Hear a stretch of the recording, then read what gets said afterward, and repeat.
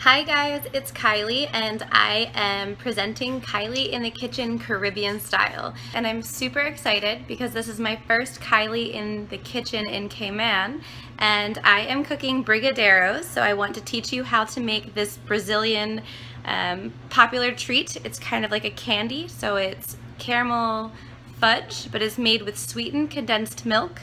Just one can, which is about 14 ounces.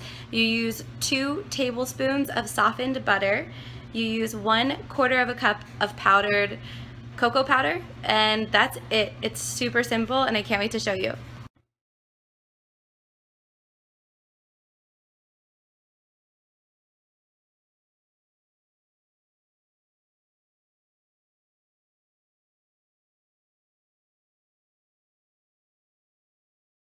That will be your main batter for the candy.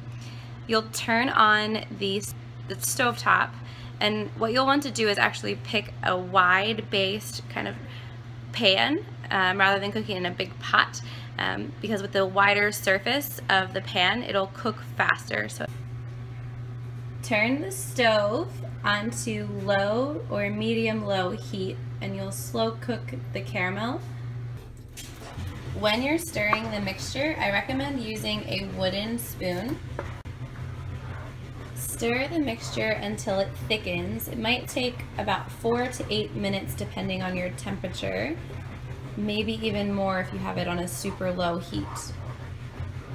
Also, while you're stirring the mixture on the stove, you can prepare a small plate that has been lightly buttered as well as a small plate with sprinkles or jimmies, whatever you might call them. Traditionally, the recipe calls for the chocolate brown sprinkles.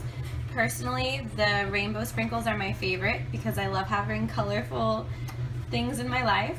And if you want to make the recipe even more your, your own or even more unique, you can toss it in cocoa powder, powdered sugar, even crushed nuts. Um, so feel free to get creative and make it your own. The only extra ingredient that you can use if you wish to change the recipe a little bit in your own way is to add extract for additional flavor. As I'm stirring the mixture and it's starting to thicken, I was thinking about the different flavoring agents that I can add to enhance the flavor.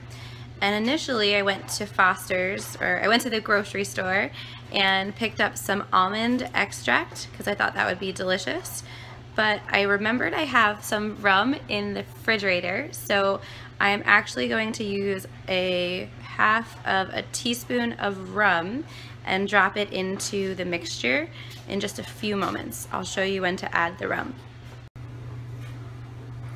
You can see it's starting to thicken, but it's still not quite there. We have just a few more minutes of slow cooking and you'll see the difference shortly.